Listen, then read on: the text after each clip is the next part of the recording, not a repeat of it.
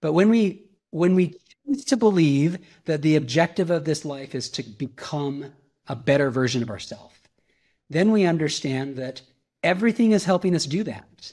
Even the bad yes. stuff, right? Your your loved yes.